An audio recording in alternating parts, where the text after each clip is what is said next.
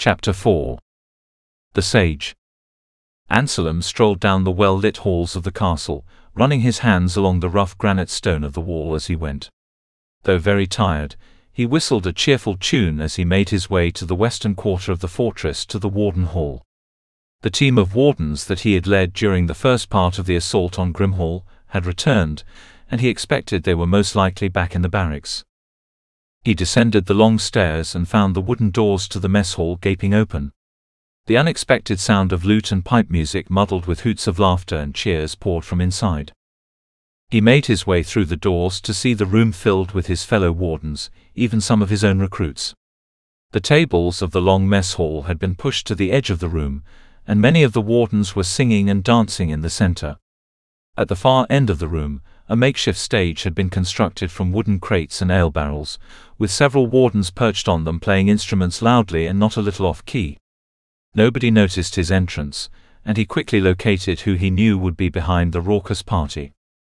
On a stool against the bar of the hall sat a tall and beautiful woman with long blonde hair that curled ferociously back and forth over ornate ear jewels. She wore the long dark green robes of the sage, the highest ranking warden aside from the high sage, but it had been tailored to her liking to emphasize her womanly figure as much as possible. As always, several of the top clasps that ran up the center of the warden robe were unfastened, revealing the jewels dangling about her chest. She wore tall black boots that reached the bottom of her knees, and her crossed legs bounced casually as she surveyed the celebration. No other warden, especially a sage, would dream to dress so wildly, but she was different. Anselm made his way over to the bar, and stopped in front of her with folded arms and a stern face. Her head was tipped back as she drained the rest of her ale from her mug, and she jumped when she brought it back down and found him glaring. I should have known you would do something like this, Anselm said.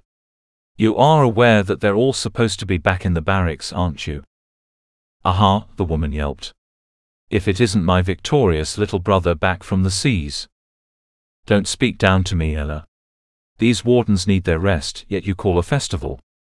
If the High Sage saw this, we'd be under the axe.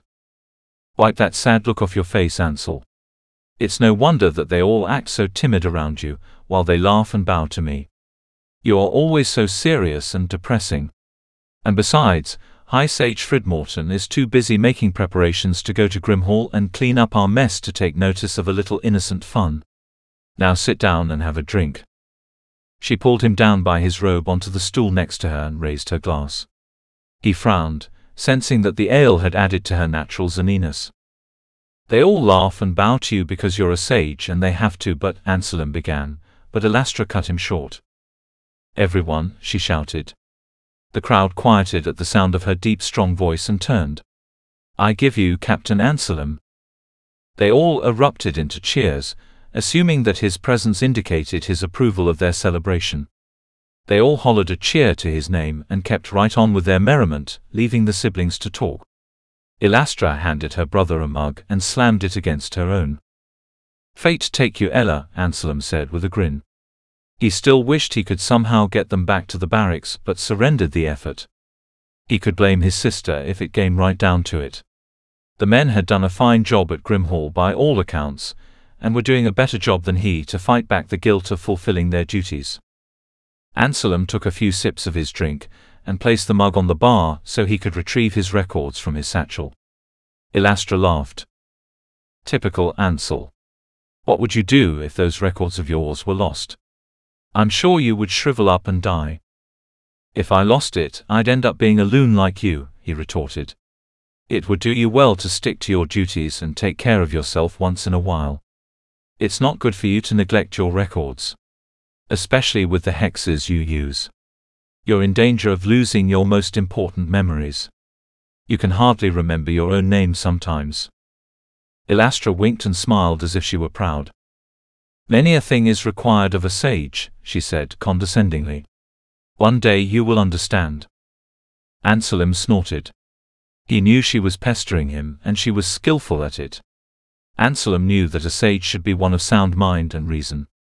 Elastra was reckless. Surely Fridmorton knew that. He often wondered how someone like her even ended up becoming a sage. You don't give me enough credit, Elastra sang haughtily, throwing her hair back from her face. Her tone was suddenly more serious. I keep my records so you stop your worrying. See. She patted her robe down looking for the right pocket, and pulled out a beaten old leather book from a fold on the inside. It was no bigger than her hand, and a lace tied around it acted as the only binding, holding in loose sheets and random scraps of parchment that jutted from beneath the cover. She held it up proudly, but Anselm shook his head. When was the last time you wrote? He asked. Yesterday. Yesterday. Um, a week ago perhaps. Yes. Right, Anselm said. Sage, keeper of the hexes indeed. Last year there was a disaster outside the city, and we happened to be there to help. What was that? Elastra rolled her eyes as if the answer was obvious, but grimaced as her mind drew a blank. Anselm slapped his forehead. His test had worked yet he was still baffled. The fire in the North Fields, Ella. How could you forget that? It was our hexes that saved that family's lives and half of their livestock. You see, you've got to keep your records. The mind of man is twice as likely to remember something. If it is written down, she finished for him. I know, Ansel. And anyway, if I've neglected my records, it's because I've spent every moment since we took the Warden Pact poring over hex scrolls, and now doing the same with the High Sage. That's why I'm able to quench fires like that, even if I can't quite remember them. She tried to drink from her tankard but stopped and squinted down when she realized it was empty. She tossed it behind her instead. The more powerful the hexes I use, the more mother and father will turn in their graves the day they die. She leaned back and watched the men more somberly now. She had to bring up mother and father. She drinks too much. Anselm decided that he could stop nagging for the moment and let his sister enjoy the evening. His thoughts returned again to his records, but ironically, he couldn't remember what he had been writing earlier. Irritated, he returned the book to his satchel. He wouldn't get any more writing or reading done for now. I'm leaving, he said, standing up. I'll be in council with the king soon, and there is a lot to report. He rubbed his temple as the song ended and cheers burst from the wardens. I need rest. Thank you for listening. Subscribe and ring the bell so you don't miss the next chapter. Episodes go live every Monday and Friday morning at 10 a.m. Eastern Standard Time. The audiobook can be purchased in its entirety on Google Play Books. Get the whole trilogy now in both paperback and ebook formats. All links are in the description.